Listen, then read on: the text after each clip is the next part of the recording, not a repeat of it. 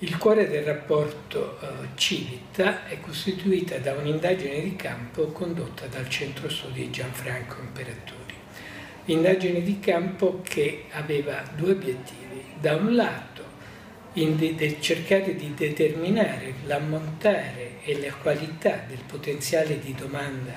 di social per le istituzioni culturali e dall'altro analizzare in modo critico le esperienze già realizzate in un campione significativo di musei. L'analisi della domanda potenziale ha messo in evidenza che esiste un pubblico vasto, soprattutto giovanile, che potrebbe essere coinvolto nella vita dei musei attraverso l'uso di questi strumenti,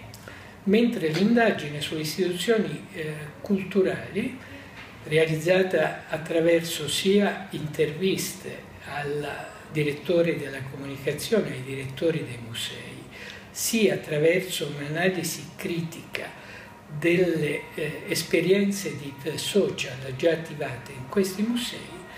ha messo eh, in evidenza che la comunicazione museale